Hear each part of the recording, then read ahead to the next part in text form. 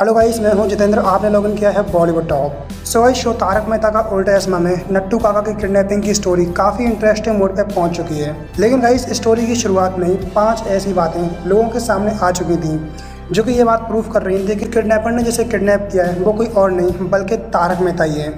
So guys चलिए जानते हैं वो पाँच ऐसी कौन सी बातें थी, जो कि इस बात की ओर इशारा कर रही थी कि किडनैपिंग किसी और की नहीं, बल्कि तारक मेहता की हुई। सो गाइस सबसे पहली बात, जब किडनैपर मेहता साहब को जेठलाल के गोडाउन में लेके आते हैं सो उस समय किडनैपर ने जैसे किडनैप किया हुआ, उसके कपड़े साफ़ साफ़ दिखते हैं। यानी कि जो कपड़े, सुबह मेहता साहब ने ऑफ़िस जाते समय पहने थे, वही कपड़े किडनैप किए हुए आदमी के दिख रहे थे। सो गाइस इसके बाद जब बाघा मेहता साहब को कॉल करता है तो मेहता साहब का फ़ोन स्विच ऑफ़ होता है। सो इससे ये बात और ज़्यादा प्रूफ हो जाती है कि किडनैपिंग मेहता साहब की हुई है। और बाघा के कॉल करने के बाद अंजलि भाभी को ये टेंशन हो जाती है कि आखिर मेहता साहब को कॉल लग क्यों नहीं रहा है? तो इसके बाद अंजलि भाभी मेहता साहब को लगातार कॉल करती हैं, लेकिन तब भी मेहता साहब को कॉल नहीं लगता है। और अगर मेहता साहब का फ़ोन स्विच ऑफ़ होने होता है या फिर या फिर किसी मीटिंग में होते तो पहले अंजलि भाभी को बता देते हैं कि उन्हें अभी कॉल ना करें। और गई इसके बाद पागा के जेठालाल से झूठ बोलने के बाद जब जेठालाल मेहता साहब के ऑफ़िस पहुँच जाता है, और वहाँ पे ऑफ़िस के लोग बोलते हैं कि अभी तो मेहता साहब आए ही नहीं। तो इस ये बात भी इस बात की ओर इशारा करती है कि किडनैपिंग किसी और की नहीं, बल्कि मेहता साहब की हुई है। और गई इन सबके बीच में सबसे बड़ी बात, अगर जेठालाल से मेहता साहब को कोई भी बात करनी होती है तो डायरेक्ट मेहता साहब जेठालाल के पास कॉल करते हैं। ना कि उसकी दुकान में लैंडलाइन नंबर या फिर बाघा के पास कॉल करते हैं। और कई इन सब बातों को देखने के बाद सभी को विश्वास हो जाता है, जो लोग सुबह मेहता साहब को फ़ोन कर रहे थे,